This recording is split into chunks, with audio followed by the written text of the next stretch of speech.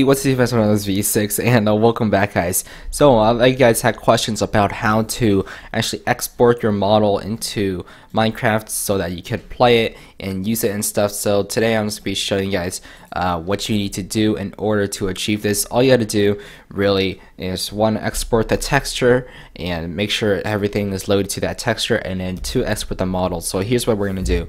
Uh, when you make um, the voxels into textures you're going to see that these are actually pulling from the texture but we have nothing in the texture right now and we want to use a voxel palette. So you're to right click it, going to save texture into whatever resource pack you use. In this case I have one made already here. It's called modeling basics. So we're just going to find modeling basics in our resource pack right here. And this very important. You're going to go assets minecraft textures blocks. Alright that exact file path. Because if you don't do that the the folder or the model itself isn't going to be able to pull from there. Uh, alright so we're gonna name it uh, music box underscore or music underscore box and um, you can name it whatever you want, but I'm naming this so later I know what texture this is used for. And make sure to not use any capital letters because that would not work. Alright, so I'm going to save this.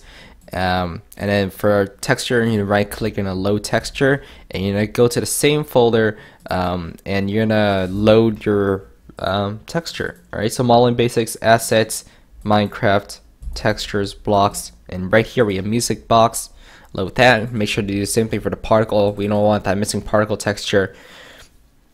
Alright, and uh, so there we go. We have our textures pulled there. All we're to do now is we're to go to File, we're to go to Export, and we're to export our model into uh, our resource packs. Uh, modeling basics, assets, Minecraft. I'm to go Models. And I'm going to save in a blocks folder, but you can save it in the items folder too. I usually do that if I'm doing something like uh, a block on top of an armor stand's head. For this demonstration, I'm going to go block, and we're name it whatever block you want. And I'm going to do glass in this case. Make sure it's transparent if you're using a transparent base. Alright, so save. Alright, so now we're done with that. We're going to close Cubik Studio. Um, sure, let's save our changes. And then close, please. Is it is it gonna uh, there we go. So we're gonna make sure we have everything. So assets minecraft models block we have our glass here. Assets Minecraft textures blocks we have our texture here. It's the same texture we used. So all we're going to do now is load up Minecraft. We're to go options resource pack and we see we have our modeling basics uh, loaded already. I'm to go into my test world here. And uh, we can see that we have our glass here make sure modeling basics. Is loaded. Uh, we're to go to F3 and T just to reload the texture pack. And it should work after we do that. Alright there we go. You see we have our model right there. It's pretty nifty. Uh, so yeah um, one of the glitches for or one of the, the bugs for Cubik Studio is actually it doesn't save your preview settings your display tags so every time you have to do it again that's why my GUI is all messed up and stuff. So right there we see we have our uh, model right there with a transparent base because it's a glass block. And yeah everything seems to be working correctly. And if we break it it should have the particle. There we go. We don't want that missing particles because it's just really ugly.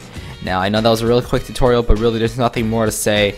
Um, just basically maybe recap it real quick. You're gonna go and you're gonna export your voxel palette uh, as any texture in the blocks text or textures blocks folder. And then what you're to do next is you're going to just um, load this into your textures. So whatever texture you use just load it in as your particle and your texture. And you're to export your model into Minecraft models blocks or items. Alright so model block or model item and yeah make sure that all the file paths are correct. If it doesn't work anymore or if it still doesn't work then uh, ask me in the comments and I'll be sure to help you guys out. And so yeah thank you guys for watching and I'll see you guys next time